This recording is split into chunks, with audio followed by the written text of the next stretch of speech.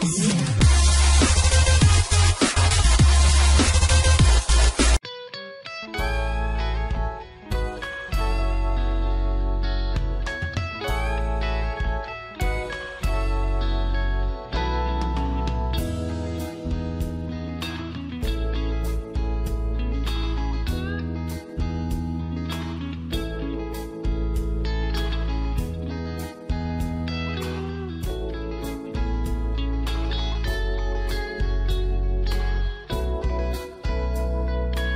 Hello YouTube viewers, in this tutorial video I am going to show you about how to fix or solve the desktop.ini.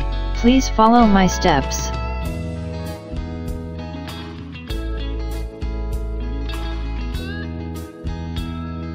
Go to search and type folder options.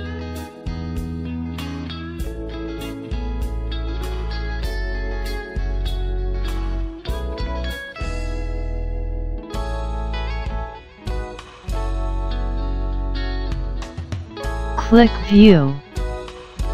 And then click Hidden File and Folder. Then click Don't Show Hidden Files Folders, or Drives. The desktop.ini file is a hidden file used to store information about the arrangement of a Windows folder.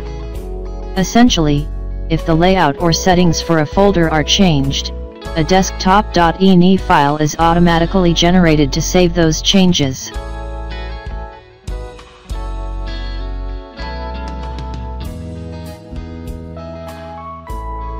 Is this file a virus?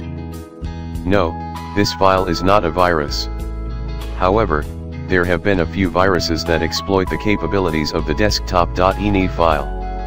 If you're concerned about this file being infected, scan it with an antivirus program.